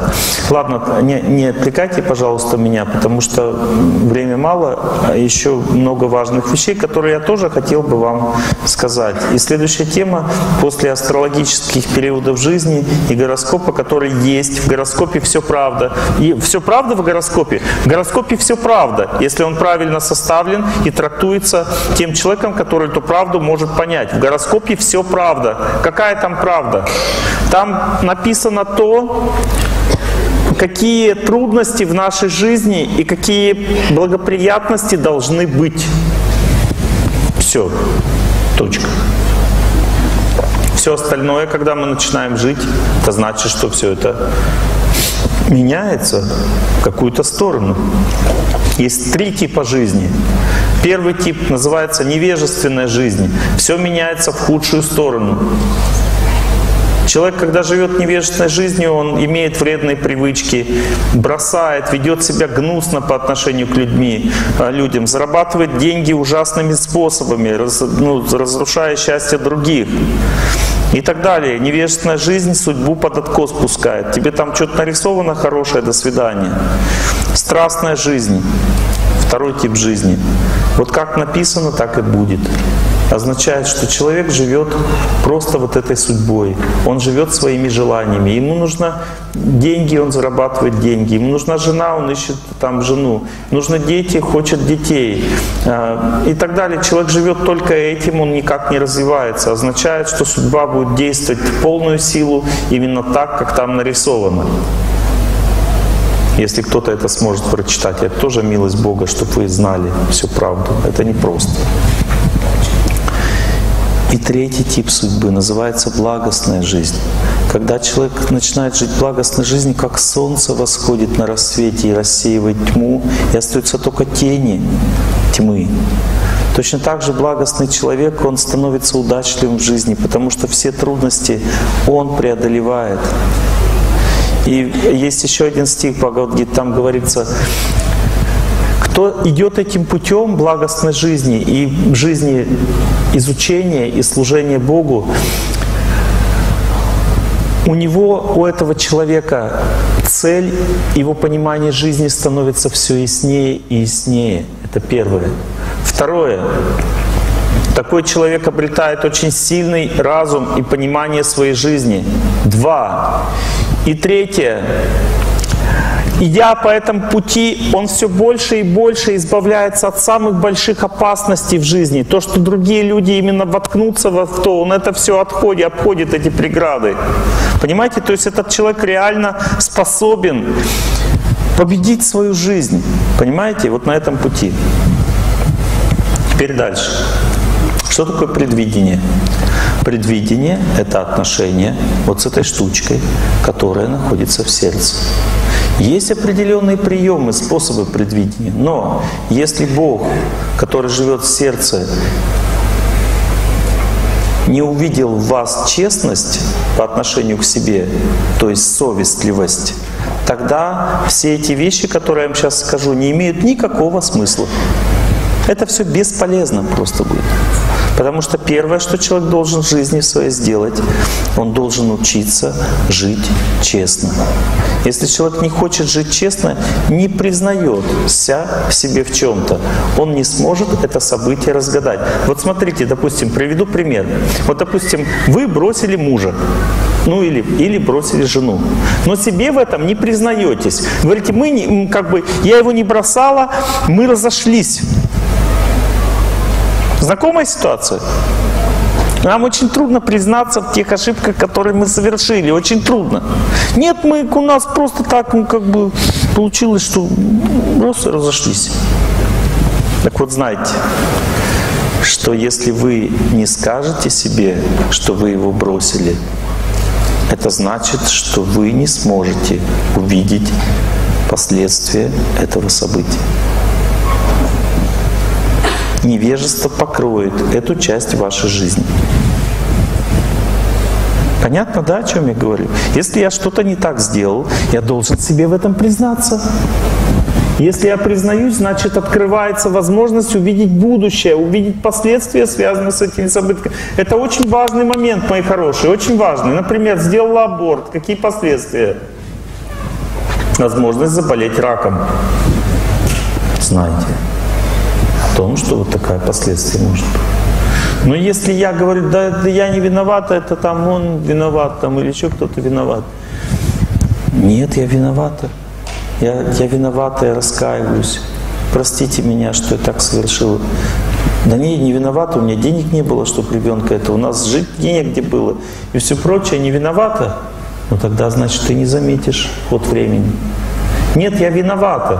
Если ты виновата, может ничего плохого вообще не произойдет, никакого рака не будет. Понимаете? Потому что судьбу же можно сжечь. То есть совершила аборт, раскаялась, все, больше не хочу совершать. Какие приз, три, признаки, три признака победы над судьбой? Первый признак – на сердце легкость. Я не буду больше этого никогда в жизни делать. Второй признак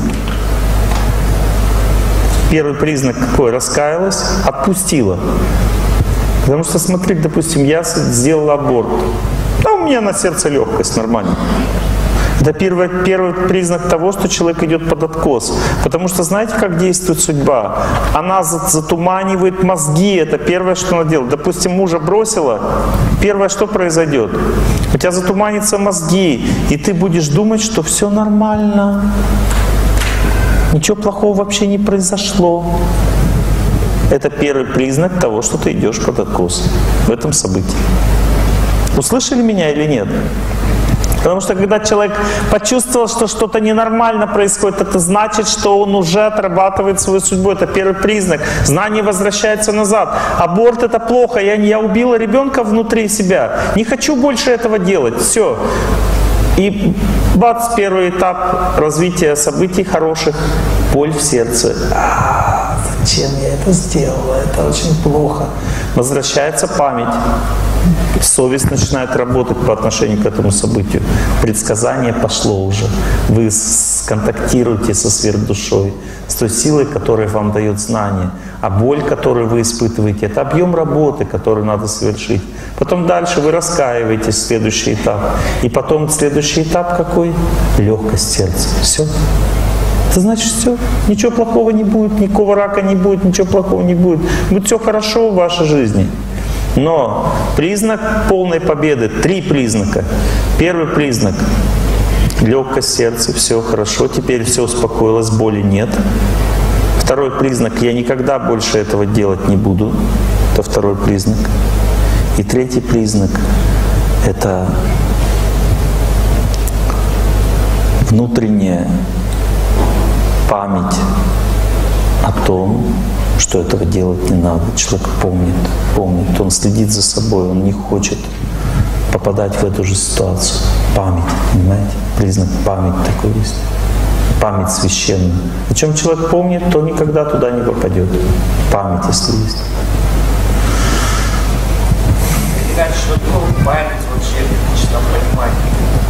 Память — это контакт с объектом. Допустим, память о человеке. Если человек тело оставил, ушел из жизни, что такое память? Это значит, что я его нашел. Если я помню о нем, значит, я с ним контактирую. Вот что такое память. Если я помню, что этого делать не надо, это значит, я контактирую со знанием, контактирую с Богом в аспекте знания, со своей совестью. Потому что есть сверхдуша у человека, это она дает знание человеку и забвение. Когда человек хочет забыть о чем-то, он совершает грех, хочет забыть, сверхдуша дает ему забвение, говорит, ты ничего плохого не совершал, все нормально. Живи дальше, как живешь, ничего плохого не было, все у тебя хорошо она, Бог дает забвение. Но это не значит, что последствий не будет. Как раз это первое последствие, которое должно быть, оно уже произошло. Итак, предвидение начинается с того, что человек признает, что есть совесть, мои хорошие. Если ты совесть признаешь, что есть совесть и хочешь с ней считаться, ты первый шаг к своему предвидению своей судьбы сделал уже. Предвидение означает идти к бабке-гадалке, которая там тебе будет плеть, плести на тебе. Знаете, когда человек попал в состояние страха, вот смотрите, вы к бабке-гадалке пришли, да, заплатили нужную сумму денег, все как положено, выполнили все условия. И бабка-гадалка вам рассказывает про вашу жизнь. Какой должен быть результат того, что она сказала правду? Как вы думаете? А? Нет, если она сказала правду, в вашем сердце будет ясность, легкость и радость. Это значит, что вы узнали будущее. Это признак благочестия, признак подарка. Бог вам дал подарок, вы узнали будущее. У вас сомнения все рассеялись. Как вот женщина узнала будущее, она сказала, о, супер, мне это нравится. Потому что она узнала будущее, это факт. У нее в сердце появилась легкость, радость и чувство, что все будет хорошо. Это признак победы. Теперь, если вы пришли к гадалке, она вам что-то рассказала, вы уходите от нее, и у вас появился страх, неприятное чувство какому-то человеку, у вас пропали силы внутри, и вы потеряли надежду и веру, это значит, что этот человек вас сбил с толку. Он вас вселил то, за что он будет наказан. Понимаете, этот человек совершил большой грех. То есть он использовал энергию предсказания. У такого человека, несомненно, у этих бабок-гадалках есть дар предвидения какой-то, который они используют неправильно. Что они делают? Они вам приводят факты какие-то, указывающие на то, что они понимают вашу жизнь, ход времени, и потом они вас привязывают к двум вещам.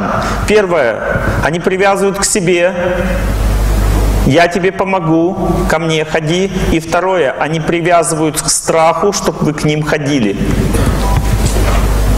То есть, другими словами, они сажают вас на деньги. Что? Это не гадалка, это шарлатанка. А кто такая гадалка, по вашему мнению? Ну, расскажите. Вот именно, что 99% это просто шарлатаны. Эти люди просто обманывают. Это факт.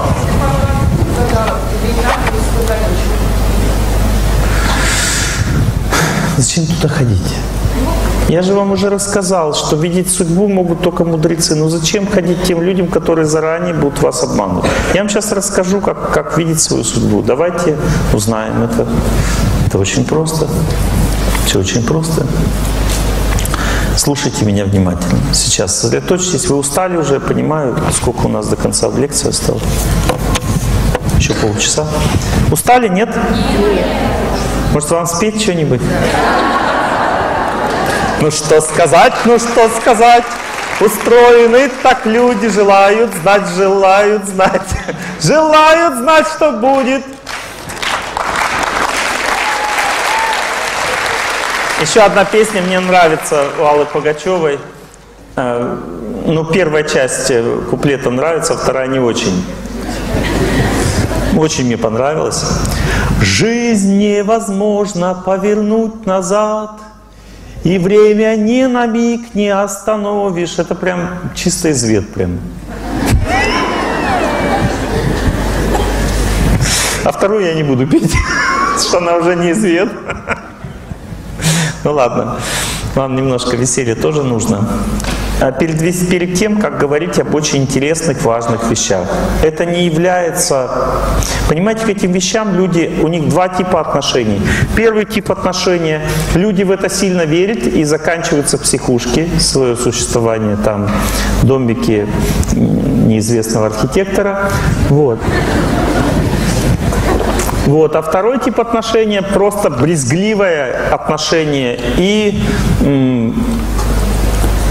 пренебрежительное. Оба этих типа людей просто не знают, как относиться к тем вещам, которые связаны с судьбой. А знать об этом надо. Рассказываю. Доступ к своей судьбе может получить только один тип людей, которые способны с помощью молитвы или отношений со святостью сделать хотя бы на секунду в своей жизни спокойствие по поводу того события, которое будет происходить. Или, по крайней мере, непривзятость, непривязанность к нему. Но другими словами, нужно хотя бы просто успокоиться, по-русски сказать, понимаете, если вы хотите узнать правду. Ой, я не знаю, какую квартиру мне покупать, то ли эту, то ли ту, то ли эту, то ли ту. Все, правды не узнать невозможно.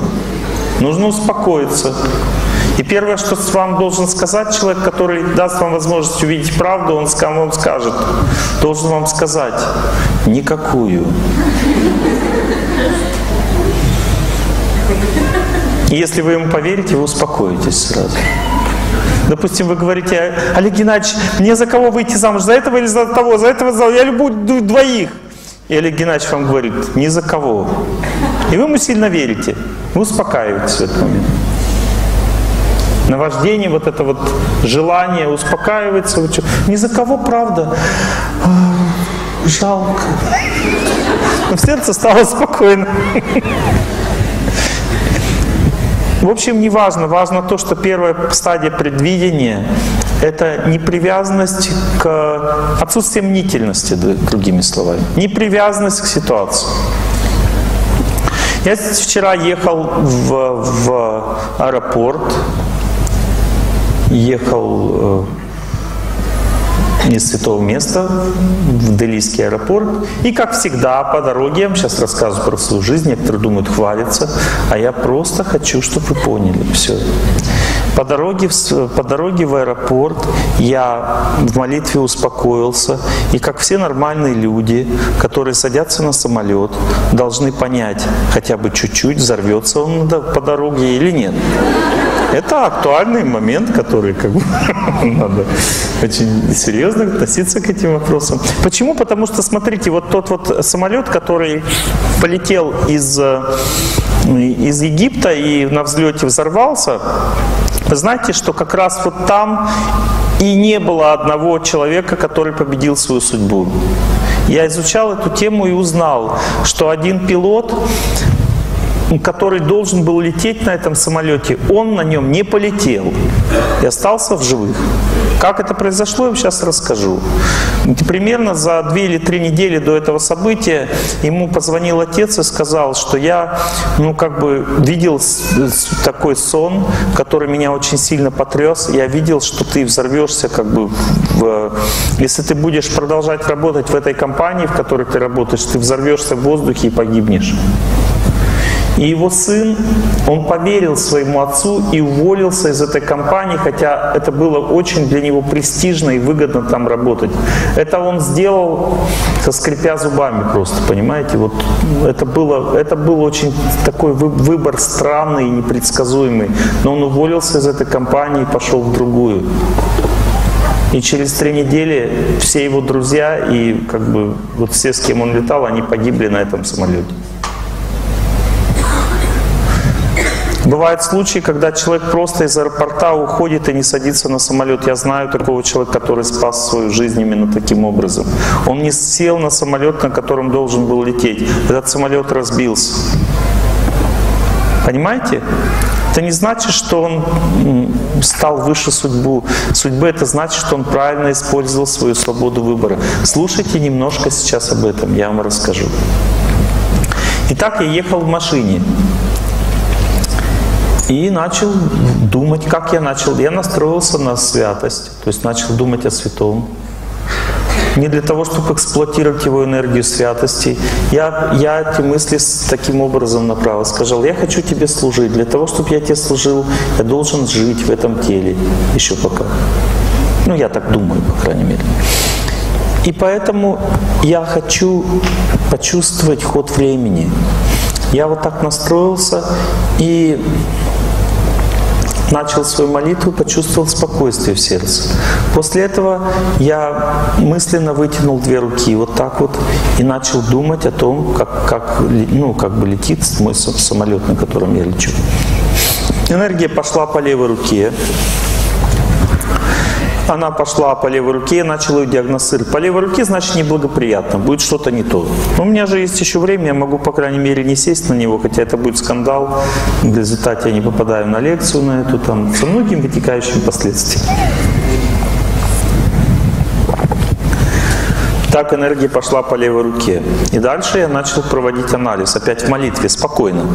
То есть не было паники, ничего, просто спокойно. Так, первое, хорошо. Неблагоприятно. С чем связано? Сейчас будем разбираться. Хорошо. То есть летим на самолете. Неблагоприятно или благоприятно. Летим на самолете. Ну, как бы тяжеловато. Хорошо, замечательно. Начинаю молиться, смотрю, энергия пошла по правой руке. Значит, самолет не будет разбит. Теперь опять вспоминаю назад, думаю о сердце, вот спокойствие, успокаиваюсь. Хорошо, почему неблагоприятно? Почему по левой руке? Опять спрашиваю свое сердце. Какие-то другие события, связанные с полетом. Все, мне достаточно. То есть жизнь сохранена, жить буду дальше. Вот. А, все этого достаточно. А дальше все было так.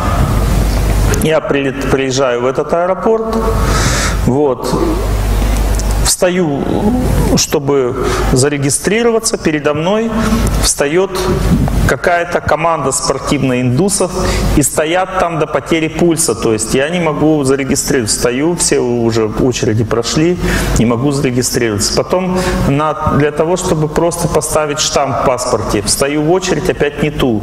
Там ставят 5 человек, здесь 2 всего. И я стою, стою, стою, стою. И опять не могу достояться и так далее. Ну, то есть очень большие задержки во всем. Потом самолет на час задержали, в самолете сидим, не можем взлететь. Понимаете, да? Другими словами, вот с этим была вся неблагоприятность и связана.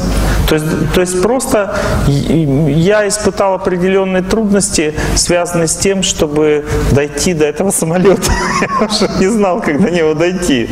То есть вот, вот это все время дохождения до этого самолета у меня заняло два с половиной часа. Ну, то есть обычно там 15 минут, и ты на самолете уже. Два с половиной часа мне понадобилось, чтобы в него сесть. Понимаете, в этот день. Но это еще не все.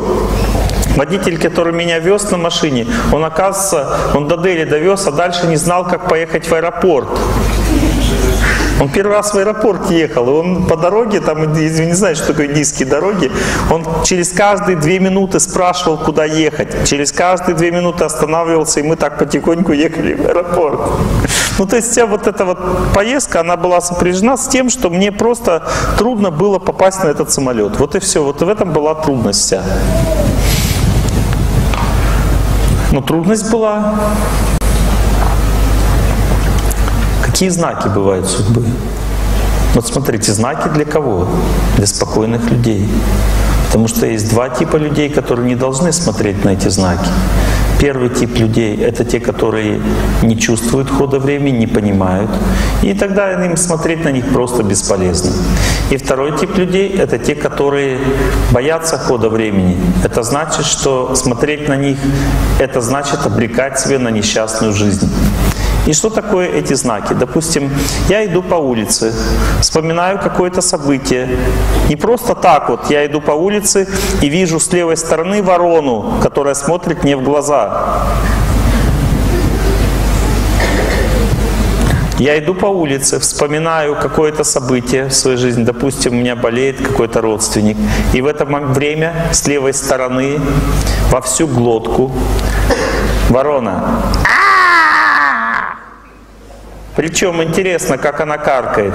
Она каркает так, что в сердце становится холодно от этого звука. Это значит, что события, которые связаны с, с, этим, с этой ситуацией, будут очень тяжелыми, практически непреодолимыми. Услышали меня или нет? Нет, я сейчас рассказываю. Я сейчас просто вам привожу примеры. Потом я расскажу, как у мужчины, у женщины, расскажу все симптомы. Чем меньше вопросов будете задавать, тем больше узнаете. В каждой, в каждой системе координат свои ценности, понимаете? То есть черный цвет для всех в целом означает связь вот с э, тяжелой судьбой. Это цвет Сатурна, и как бы он ознаменует. Это может быть собака, или это может быть э, черная кошка, допустим. Неважно. Важно то, что она должна произвести определенное впечатление. Допустим, я иду по улице, ничего не вспоминаю. Черная ворона каркнула с левой стороны у меня. Но так как я был на лекции Олега Геннадьевича, и эту лекцию не должен был слушать, Поэтому я сразу пугаюсь и думаю, блин, все, капец. А что капец, пока не знаешь. Ну, уже понятно, что капец.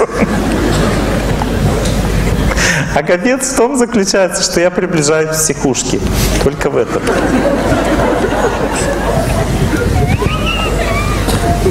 Так, смотрите, кто не должен диагностировать свою судьбу? Это люди, которые боятся свою судьбу. Если, допустим, после моей лекции вы начали бояться ворон, черных кошек и черных собак, значит, что вам этим заниматься не надо, потому что вы просто не хотите принимать разные ситуации в своей жизни. Похоже, что у нас уже лекция-то должна заканчиваться. А не, ну как через пять минут у нас? А, через пять минут надо счастье начинать жить. Придется еще одну лекцию читать, да, на эту тему, я чувствую. Ну ладно, смотрите. Первое, что я вам хочу сказать, что есть знаки судьбы. Эти знаки дает природа. Вот. Кто ищет, тот всегда найдет. Чего не советую делать? Если день, допустим, солнечное или лунное затмение, на это затмение смотреть не надо. Хоть и хочется. Потому что, как бы, если ты хочешь получить в лоб, пожалуйста, сходи туда. Вот знаете, как в этом анекдоте я уже рассказывал, как бы э, ковбоя поймали, привязали к дереву, ничего с ним не делают. Он такой что-то нервничает, нервничает. Думает, ну все что ли не все, ну все или не все. И внутренний голос спрашивает, ну все или не все? Говорит, нет, не все. И тут говорит, а когда все? Говорят, ну когда все, он видишь того он индейца с большими перьями. Вот. Вижу. Позови его. Позвал. Плюнь ему в лицо. Плюнь. Вот теперь все. Если хочешь посмотреть на, на солнечное затмение, пожалуйста, иди посмотри. Вот теперь все. Понимаете? Ну, то есть глупости делать не надо. Вот это первое правило, понимаете, в отношениях со своей судьбой. Есть вещи, которые являются неблагоприятными. Допустим, эм, соблазнюсь или не соблазнюсь, если зайду в публичный дом. Не надо туда заходить. Понимаете, да, есть вещи, которые неблагоприятны. Или, э, допустим, а девушка, допустим, рассуждает, а я смогу пройти по темной улице ночью в Москве. И со мной ничего не будет. Это факт, что может быть с вами ничего не будет, а может быть и будет. Или пойду покатаюсь на лыжах. Не с горки в Москве, а где-нибудь там в Швейцарии, где-нибудь с таких горок, которые по 3 километра в высоту. Это что значит? Это значит, что вы чем занимаетесь там на этих горках? Вы там просто уменьшаете свое благочестие, необходимое на, на сохранение вашей жизни. Потому что, допустим, вам надо ездить на машинах, на самолетах летать, и там должна срабатывать система вашей защиты. Эта система защиты означает, что этот самолет не упадет, пока у вас благочестия хватает. Но вы его все истратили на этих горках. Почему этот Шумахер разбился на этой горке? У него было как бы его долг, он занимался спортом, там добивался результатов. Это его жизнь, это, он там не разбивался. Представляете, гонял человек постоянно на машинах, много раз переворачивался в сознании нормальном, склеили, дальше ездим. Поехал с горки, вообще никак не связано с его судьбой, просто решил понаслаждаться жизнью. Но как наслаждаться? Он поехал рисковать жизнью своей. Зачем он это делает? И он ударил, он упал там, разбился и много месяцев лежал без сознания, все, теперь ездить уже не может. Хотя сохранилась жизнь. Понимаете, о чем я говорю или нет? Есть, есть просто конкретные глупости, которые мы делаем просто из того, что не хватает мозгов, и все. Вот этого делать не надо. Мы поехали, у меня были лекции, я читал лекции на... Я, похоже, буду вам читать дальше этот семинар. Наверное, сместятся все лекции, которые мы запланировали дальше. У нас, кстати, сейчас должны быть объявления. Потому что я, ну, как бы важный материал. 13-14 апреля состоится семинар «Счастье от теории к практике». Проведут его а, Евгений Коинов и Гульнара Диген, Дигенбаева. Знаете, кто-то, я знаком, меня познакомили с этой женщиной, она мать 136 детей, установила 136 детей. Очень хороший человек. Приходите, Евгений Коинов тоже очень хороший человек. 17 апреля пройдет душевный вечер с Мариной Таргаковой, тоже необычная, очень возвышенная женщина. 18 апреля Марина Таргакова проведет семинар на тему эмоций и здоровья. Она, кстати, она подтверждает свою возможность читать лекции. Я знаю ее судьбу, не буду рассказывать. Очень необычные вещи происходят в ее жизни, она с ними справляется. Необычная личность. 23-22 апреля Владимир Слепцов проведет семинар на тему «Духовный поиск в условиях современной жизни». 28 апреля «Одиночество и разводы. Углубленный анализ». Все тот же мошенник проведет. Значит, 28 а, апреля продолжение, вот сейчас вам объявляю продолжение этой темы который мы сегодня... Да, согласны? Кто не согласен? Продолжение этой темы, да. Значит, мы меняем расписание. Все подробности на сайте Центра психологии Ирины Медведевой. Дорогие друзья, в многих городах уже есть клубы «Благость». Если вы хотите организовать такой клуб в Москве, обращайтесь на почту клуб собачка торчунов.ру. Если хотите участвовать в таком клубе, то обращайтесь к организатору Марте. Она сейчас в зале или через сайт торцунов.ру. Благотворительный фонд «Пища жизни» кормит бездомных, занимается поддержкой здорового образа жизни, проект «Общее дело», здоровый образ жизни и нравственные семейные ценности, столик фойе. Спешите делать добрые дела. Хочу вам сказать о том, что мы будем, о чем мы будем говорить на следующей лекции. Первое, что я хочу сказать. Вы не зря пришли, нормально на этой я просто как бы вам предварительное знание об этом сказал. На следующей лекции мы будем с вами изучать контакт с Богом, вот эти отношения со сверхдушой на том этапе, на котором мы сможем позаботиться о своей жизни. Понимаете? То есть я вам буду симптомы все рассказывать вот так, как того, как это надо делать. Плюс мы будем описывать вот эти все вот, э, ну, что такое суеверие, что такое правильное отношение к факторам природы. Вот.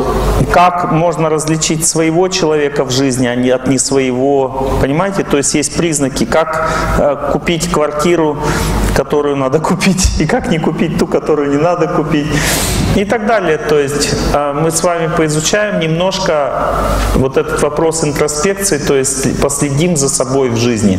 То есть научимся наблюдать за собой, за своей судьбой немножко со стороны будем учиться. Э, к сожалению, э, предварительный этап вот этой беседы занял много времени, потому что я не мог сразу вот вам о событиях начать эти говорить, потому что если человек пьет водку и изменяет жене, ему как бы закрывать глаза, успокаиваться и думать о своей судьбе бессмысленно, потому что ему надо просто начать жить лучше, правильнее. И тогда он будет менять свою судьбу. Понимаете, если человек на уровне материального восприятия мира находится, ему надо начать нравственные законы изучать.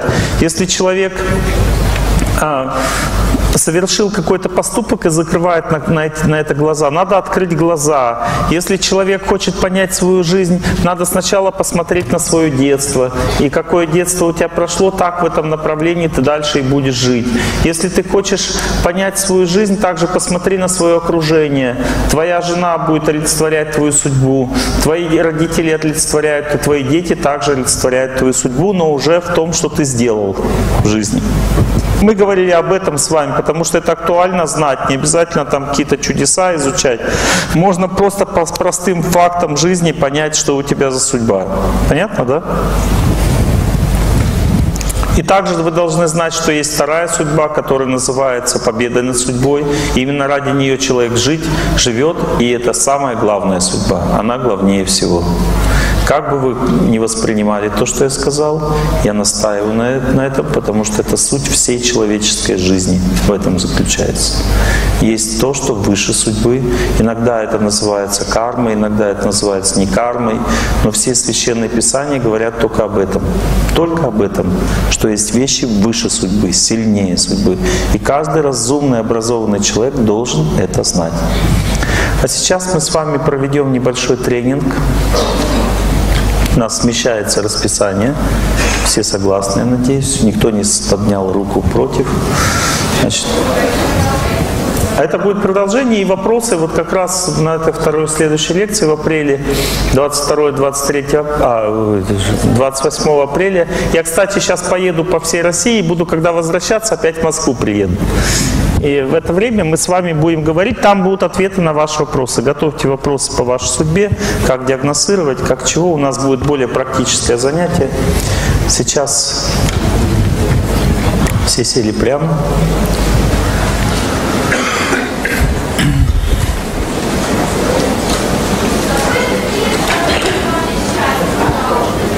На время пожелания счастья закрыть двери, чтобы никто не выходил.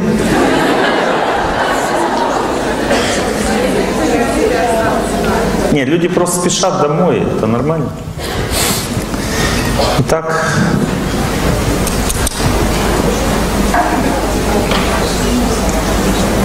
сейчас мы будем тренироваться с вами. Если мы во время этой тренировки почувствуем сердце спокойствие, это значит, что мы события своей судьбы нейтрализовали плохие. То есть спокойствие в сердце указывает на победу. Это важно. Именно поэтому человек совершает молитву. А вот это вот то, что мы сейчас будем делать, это как раз попытка такой как бы облегченный вариант молитвы э, провести. То есть, когда человек повторяет «Я желаю всем счастья», э, то он э, в это время ну, как бы на таком нравственном уровне учится делать то же самое, что и во время молитвы. Сейчас у вас будет небольшое испытание.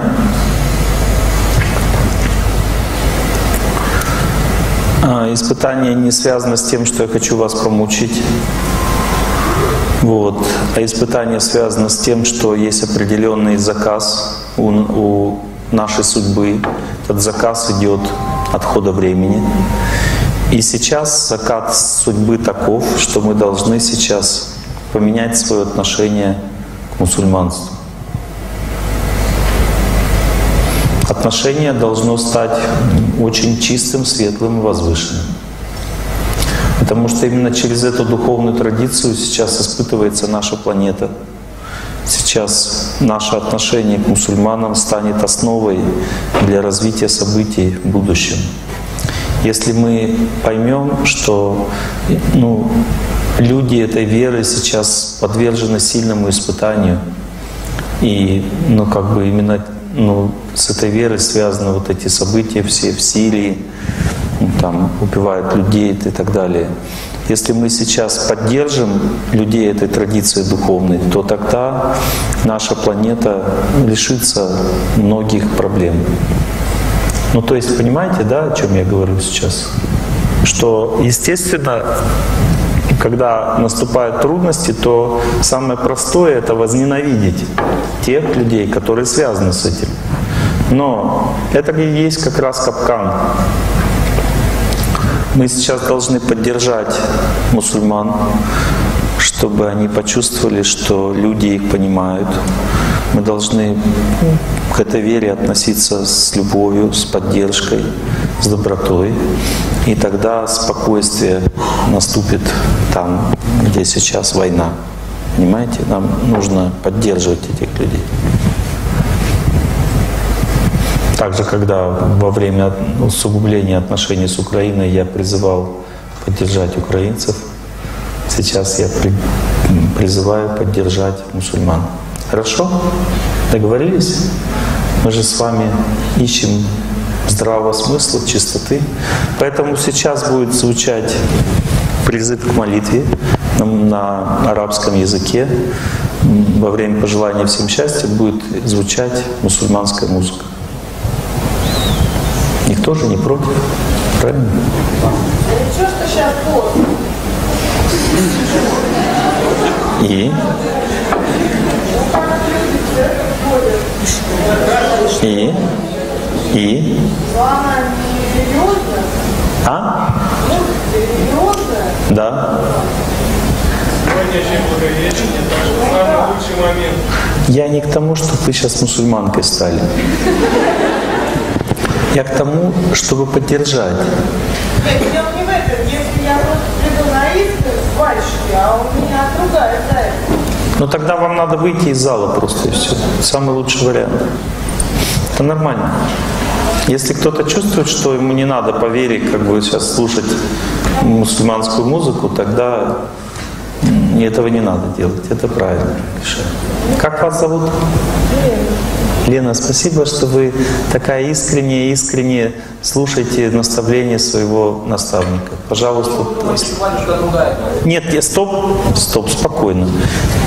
А Вы им помешали мне, э, как, пожалуйста, оставайтесь такой, всегда слушайте наставления своего старшего и никогда не перечьте им. Хорошо? Спасибо. Спасибо вам, что вы пришли на.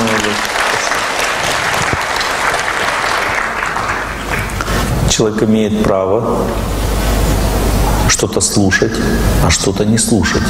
И батюшка имеет право сказать ей и так, и сяк.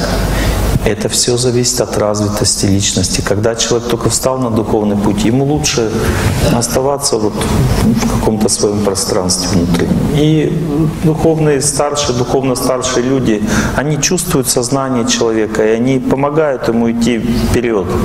Излишняя демократичность здесь не помогает, понимаете? Но я сейчас эту музыку включаю для тех, кто понимает важность того, что нужно учиться принимать другие веры и относиться к ним с терпением, с любовью. Даже это не называется с терпением, с пониманием. Понимаете, с пониманием. Я не, я не мусульманин сам и не хочу вас сейчас в мусульманскую веру обратить.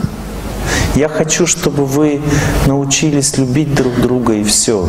Вот именно для этого я сейчас это делаю. Пытайтесь понять. Но если ваш старший духовный человек не разрешает вам слушать ну, молитвы других вер, ну тогда нормально тоже это не проблема же, правильно? Ну, не надо, значит, слушать. Все остальные можно, всем остальным можно слушать.